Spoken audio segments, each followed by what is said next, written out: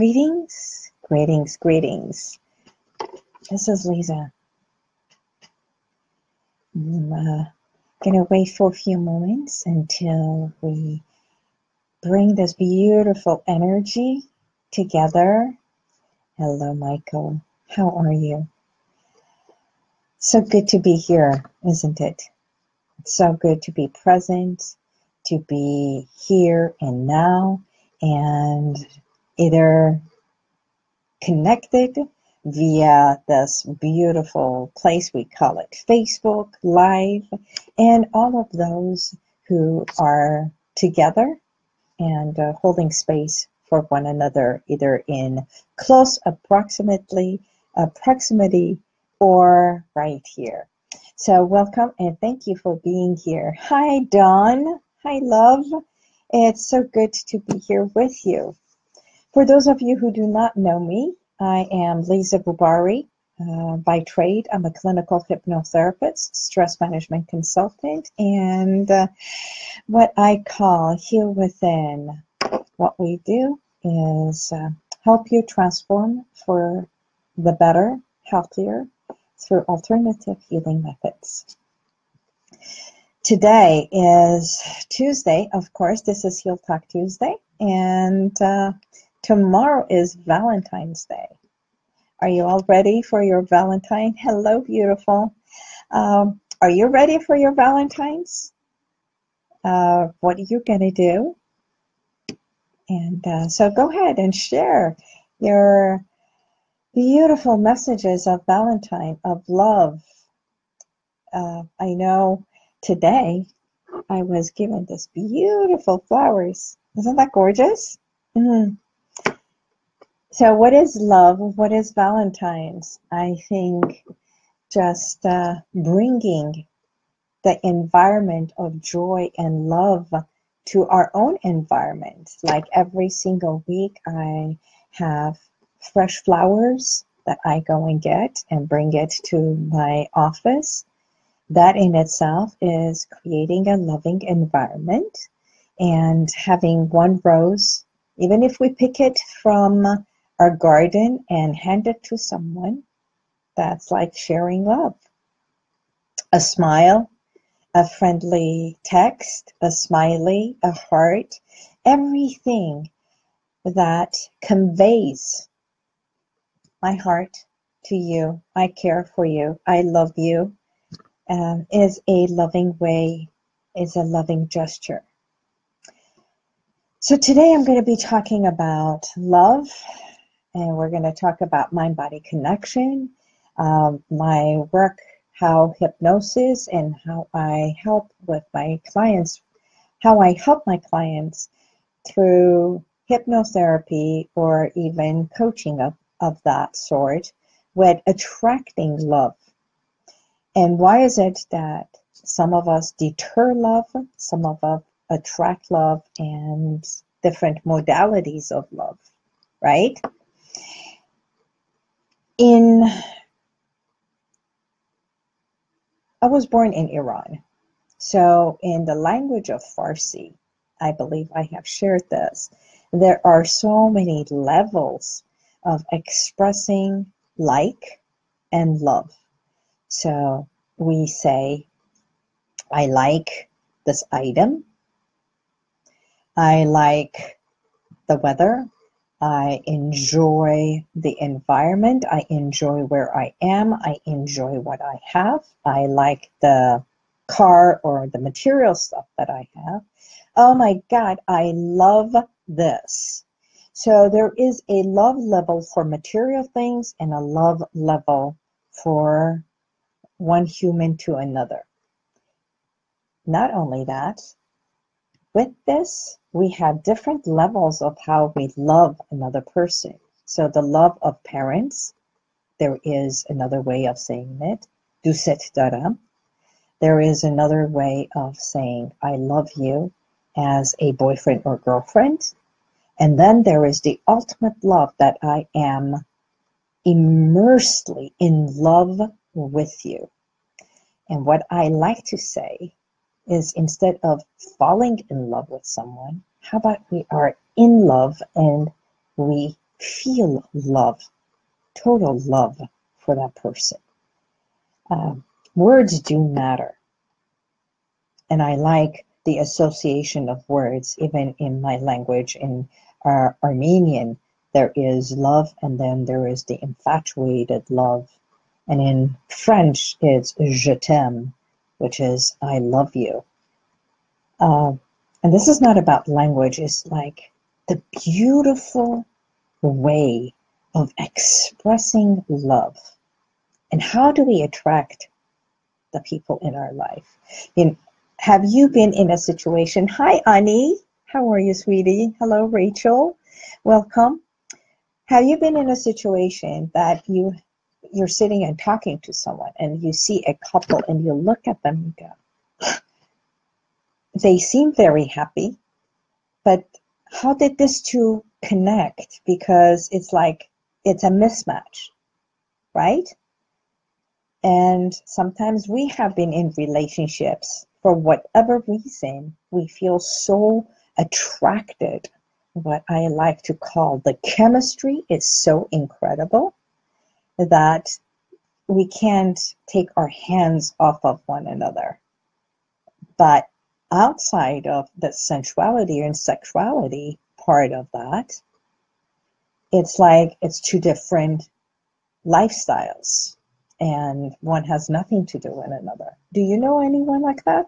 Have you been in a relationship that has been so hot and passionate, and yet you don't have much in common? But when you come together, it's like magic, it's fire, right?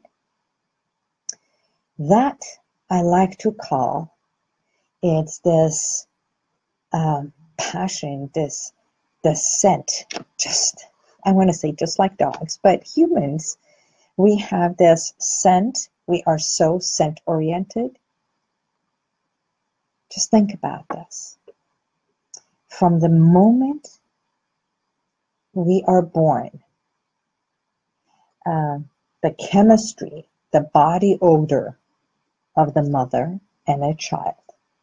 And from the moment we are placed upon our mom's bosoms, the smell of the skin, the odor of the body.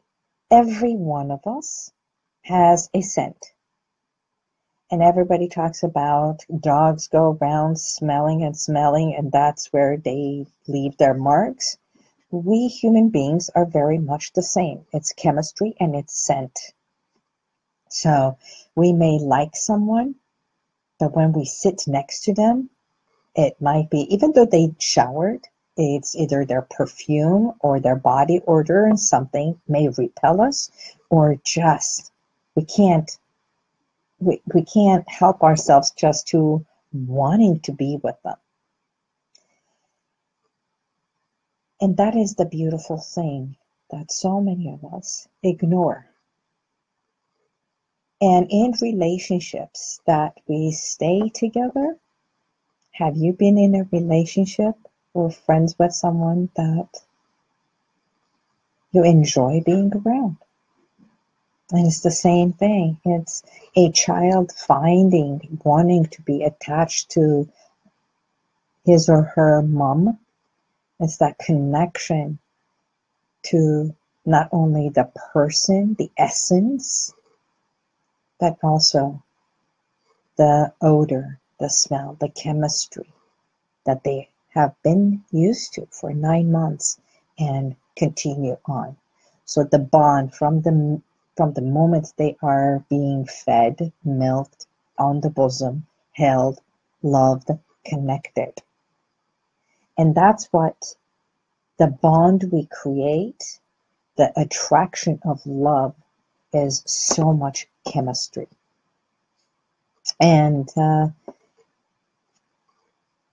if you are in a relationship that it's become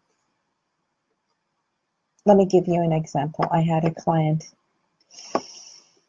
approximately four or five years ago who wanted to get married going through extreme anxiety extreme anxiety a lot of uh, problems with her sensuality, her intimacy. So she came for hypnotherapy because she had done all kinds of therapy and they could not figure it out. Before I go further, I want you to ex- I want to explain this subconscious mind of ours. It's amazing because it's truly the storage. It's the storehouse. It's this powerhouse that stores every habit, every behavior, every odor, every connection from the moment we are born until this very moment. So by doing that, it's got information in there that the subconscious mind has absolutely no emotions. It's like it takes orders and it responds to orders that we think and we feel. By doing this, it's like it operates just like a machine. You ask it to do something and it will do so. You train it to do something, it will do so. You edit it and it will keep the new edited file and the rest goes into archive. Got it so far? Are you with me? Okay. So, yes, emojis. Let me know what you think. By having that information, that knowledge, what we did was tap was tap into her subconscious mind to see why she's having so much anxiety. This client was about to get engaged. Subconsciously, she had a fear. And she didn't understand. She knew there's a block. She knew there's a fear. She knew she's going through anxiety, but not understanding why. So, in just a few sessions, we tap into her subconscious mind that had held on to a thought process because her brother had been diagnosed with HIV. Her fear was I don't want to go get tested. I don't want to go become intimate because what if I have the same blood, the same disease?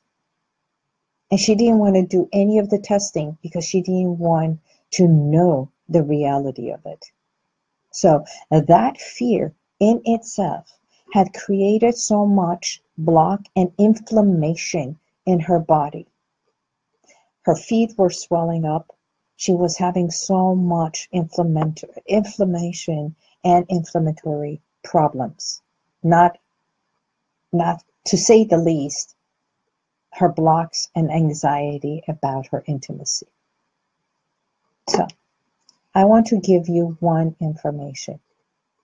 Stagnation in itself is a cause, is one of the causes of inflammation.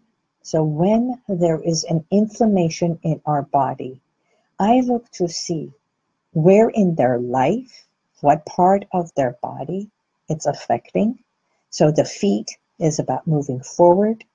When she has inflammation on the feet and the legs, it's telling me what is it that she's holding onto, not moving forward what part of that was stagnant. So if there is a fear and there is a stagnation, that's how we started until we got to the point of finding out the emotional connection. Her fear was if I get tested or if I am intimate with this person who wanted to love her and be with her that little girl inside, that self preserving part of her, the body that protects her.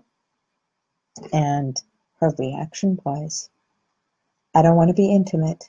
I don't want to be tested because I don't want to find out I may have HIV. So, can you relate to this? This in itself and it can be in our life how we hold ourselves back, even though what we want in life is something different. Through hypnosis, we found that And as she tapped into her subconscious and figured it out, that was the evoking part. The embracing is, I better deal with the reality. So let's, and we went together to get tested for her to test. And she did. And her answer was negative. Within hours, within, not hours, within hours, her anxiety went down. She started laughing. She laughed not only how much of burden she had created on herself, and within few days, the inflammation reduced and almost to nothing. And of course, she is now married. They have two kids. In four years, they have two kids and everything was a blessing. So, our psyche, our body, what we want sometimes may be something that we desire, but something holds us and we don't know what it is. And it's so easy through hypnotherapy for us to tap into our subconscious mind, the this hub that stores all that information, and edit. Just go in, and edit or find the means to help ourselves. I hope that makes sense to. Another example I can say is a client who walked in uh, maybe about 10 years ago who wanted to date this one guy and he was interested in someone else. She came in with resentment. She came in with anger and jealousy about how he was attracted to this other lady, this other woman, that she thought that person was a bimbo, a blonde bimbo, and that's what she used to call it and word it, and that she didn't have much to offer and she couldn't understand that although they had gone out dating, why is he more attracted to her? that resentment and jealousy and the, having that angst was creating more negativity inside her. And she was eating more. So when we come to a point that they come in for weight loss or uh, they have tried a lot of the diets, they've done exercise, you you've done all the yo-yo things, which I call the emotional yo-yo, and stepping in within ourselves to find out if there is a misalignment to what we want and what we want to feel. So if we are eating more, it's to literally it's to put a band-aid or to fill a hole. And that hole could be a constant opening of a hole because underneath that opening is lack of self esteem, lack of confidence. And we can have a lot of confidence, but the self esteem of I am as good as that person. Uh, that person is a human being. So by my negativity, I am deterring love towards me. Does that make sense? When there is negativity, when we have this emotional weight and burden that we just protect ourselves with, love cannot penetrate because it's not light, it's not loving. So, what I like to call it is peel away the labels, peel away the negativity and jealousy and doubt and anger so that we feel lighter. And when we feel lighter, we are lighter. We only eat so much because it's not an emotional eating that we go after. It's not a hole that we're feeling because that hole does not fill up with food. It's a temporary feeling. And it can be eating, drinking, smoking, gambling, cheating, all of those negative things that I call. She had even colored her hair blonde. And here is the misalignment. thinking that if she's blonde, he would be more attracted to her. And yet her words were, Why is he attracted to that bimbo, blonde bimbo? And yet she had made herself blonde. So what she was saying, if she was to look in the mirror, and that's what we did, I had her stand in front of the mirror and say, look in the mirror and what do you see? Tell me what do you see? She said, I see me. And I said, and what does your me look like? From the top all the way down. What part of you do you enjoy, like, appreciate, accept? Right? Because it's not only internally that we are good, we are giving, and we constantly want to please and do good, but we are also about what we look like. If we like ourselves in the mirror, so the alignment is from the outside to the inside, from the inside to the outside. I have no idea. So when we say, I want you to feel better from the inside out. I have no idea what that person's inside is. Sometimes they don't. So here's my question to you, for all of you who are here. What brings joy to you? Right now, can you just share with me what brings joy to you? What brings smile to your face. What can I say? What can I do? What can anybody? How do you feel joy? That's a much better way to say. How do you feel joy? How do you feel loved? Go ahead. I'll wait. I want to see, just share with me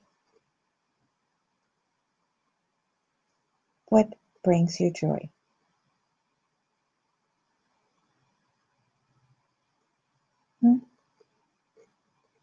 Is it a flower? Is it a hug? Is it a kiss? Thank you. But joy comes in many ways. And we feel joy sometimes by knowing that if I go home and I am not interrupted with phone calls, with kids, expectations, and I can walk in, place my bag, and just sit. Feel welcomed. So many people who go home are not greeted with a smile and they don't feel welcome.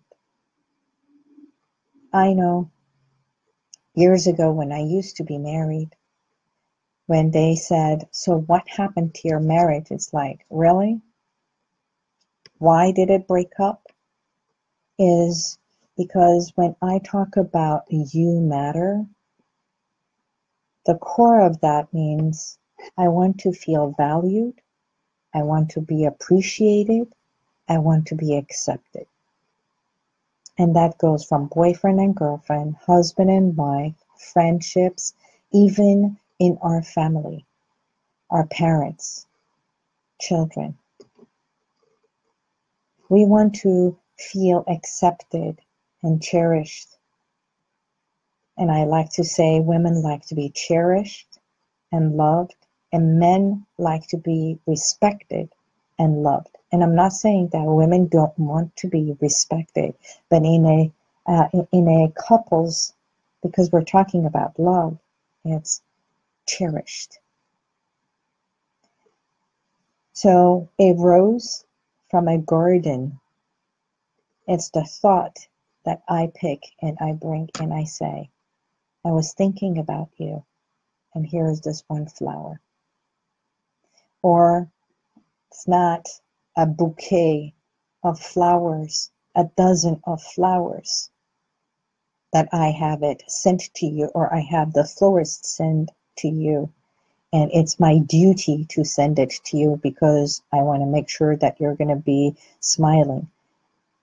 But if it is from the heart and that person walks in or sends the flowers or cherishes you, either with one rose that is meaningful or a bouquet of roses, it's the intention behind it that matters.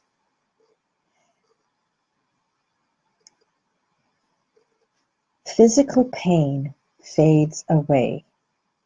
Emotional pain lingers. So when we have all those stories that we have inside us, is because of we took every picture of what is happening and we bank the feelings that are absolutely amazing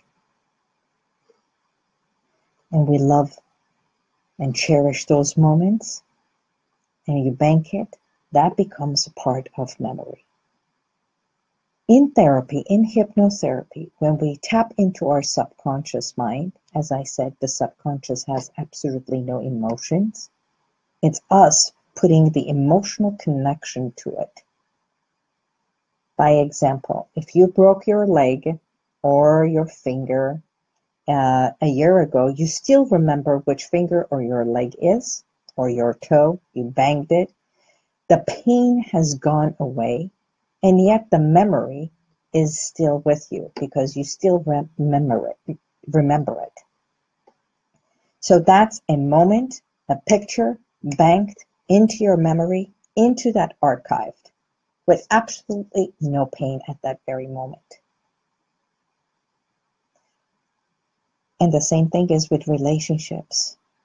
We may remember good relationships, love, being cherished, or at the same time, very hurtful relationships, very hurtful um, connections with a partner, abusive relationships, and becoming aware of them, acknowledging it, and saying, What do I need to change so that I can stand up for myself, have a voice for myself, and cherish, respect, and love myself first? It's closing that gap, closing that hole, instead of feeding it with temporary stuff. So the next time we are attracted to that person, and you're sitting with them, close your eyes.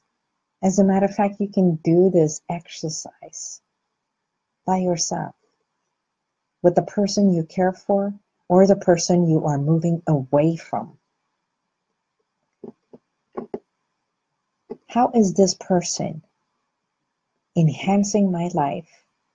Or when I am with them, how do I feel? Do I feel good? or do I feel repelling? Does my body repel by being around this person? Or I can't wait to come close to this person. And when I do, I easily hug. I enjoy being connected, either holding their hand or just surrendering and allowing myself to be one and connect to this person. Heart to heart, body to body, hand to hand. Doesn't matter. We're human beings. We're connected. We're sensual people. We are sexual people. And it's just charisma of this incredible called some something called chemistry. Hmm? With that, I want you to attract and be open to attract love and light, attract and surrender to all good. And if there is any hurt, any uh, jealousy, negativity, resentment within you towards someone, find out what it is. And sometimes this is what I want to do. I want to show you about um,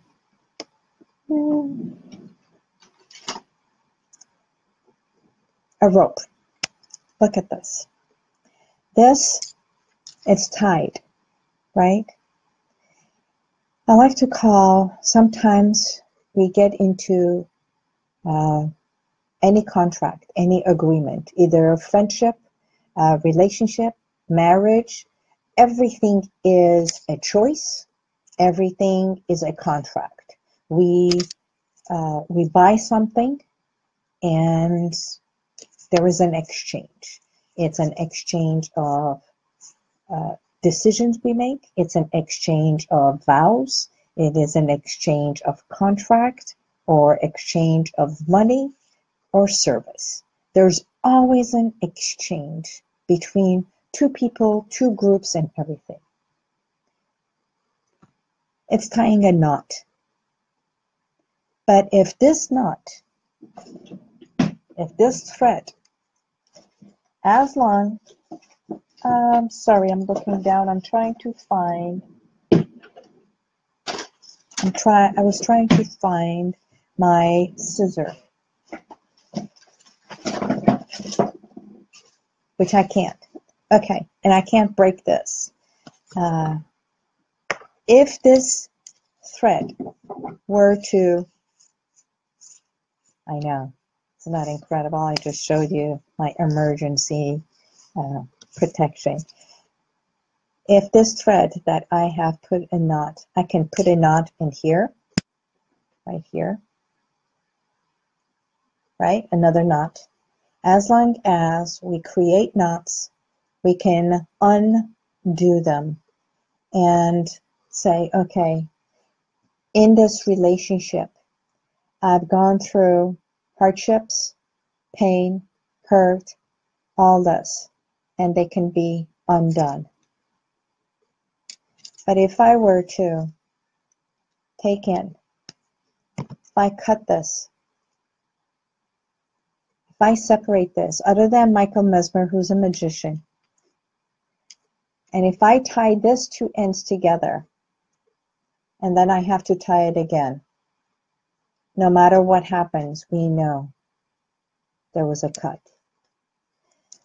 So, what I like to say is if there is a relationship that you can mend and tie knots, and as long as that relationship is not cut in two parts, because no matter what it is, if it comes together, we always remember that there was a discord and there was a separation. And that's where the blames come. The past comes. You did this, you did that. And no matter how many times we want to make good, although the knots that can be undone when there is a cut, it's very difficult. It's much difficult to heal a cut, emotional, mental, than the knots in our lives that are called challenges and experiences. May you always have a loving shield protecting yourself this with this invisible shield that I like to call the universal light or God's light, God's shield protecting you that it's invisible and no one else can see. And just like a beautiful globe, a snow globe, that has that beautiful shield protecting this figurine inside and all that snow, all the thoughts, ideas, concepts, images, the every experience and everything. Once it settles down, you can see the figurine. And that figurine of that snow globe is always on a base, grounded, protected. And I like to call that base as our body that protects us and shields us. So if that's base or body, this protection is who we are. all the thoughts and everything, all the behaviors, challenges, experiences when we go to sleep. It all comes to calmness, the serenity of it, of accepting who you are. So as you breathe in, bringing oxygen and vitality inside, say, I accept and appreciate myself far more deeply than ever before. I attract love towards me. I surround myself with light and I surrender to goodness, to loving, because you are love you come from love. You are worthy to be loved. And we have so much to give.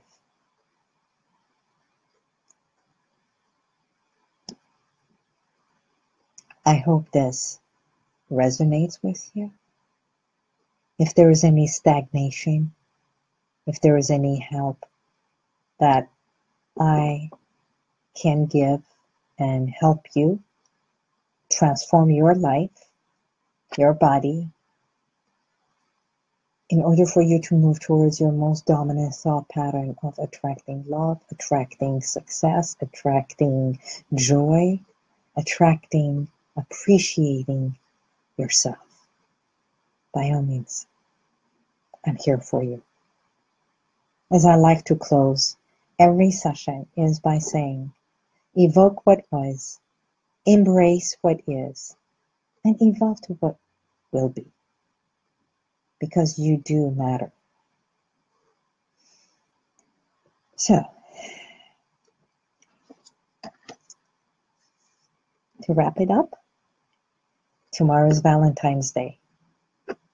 Bring joy, go out, do something good for yourself, even if it is to take a walk and appreciate the trees, the birds, your existence, your home, your safety, wherever it is, and buy a gift for yourself. Buy a rose, a flower, your favorite flower, your favorite item, even if it is something as small as a piece of.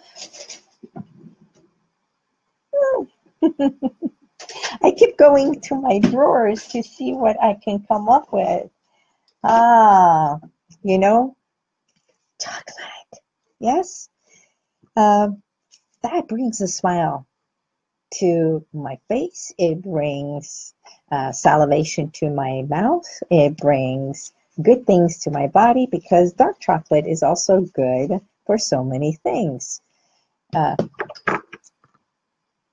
and that's the beauty the smallest thing can make make us and smallest thing can also break us choose what enhances and makes you smile now to close i would love every single woman it, i would not be a businesswoman if i didn't finish it by saying i would love Nothing. Wouldn't it be great for you to also share this joy? Because I want to share this joy, the joy of 3E, and uh, invite you to be a part of my sixth annual 3E event. And what do you know what 3E stands for? Three is my favorite number, my birthday.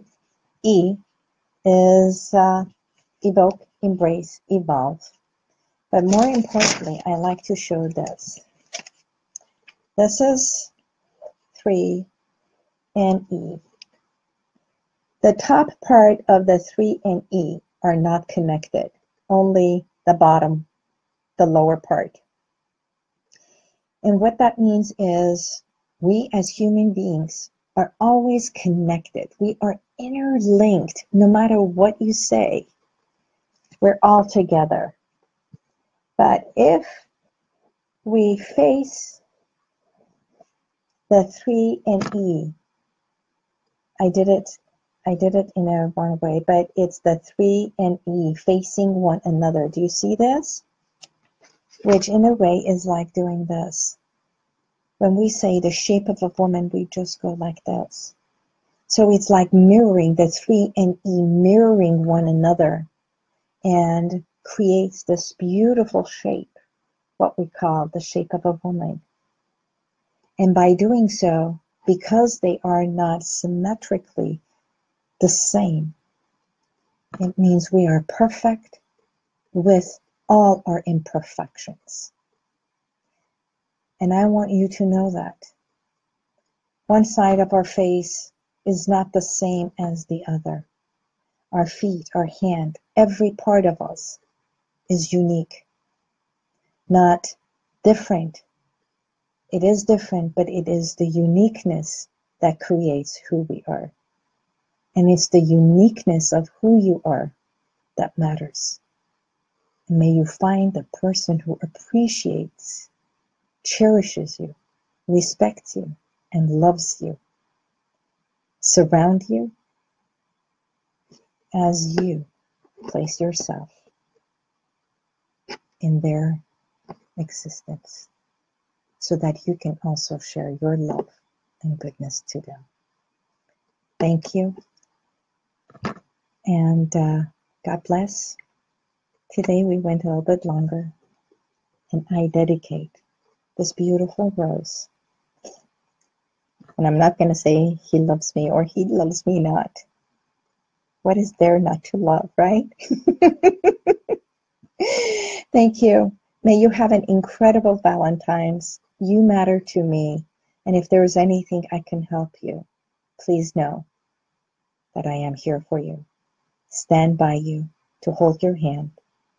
If need be, stand behind you so you can lean upon me. And there's times that I will be honored to stand in front of you to protect you. Happy Valentine's Day. Bye bye.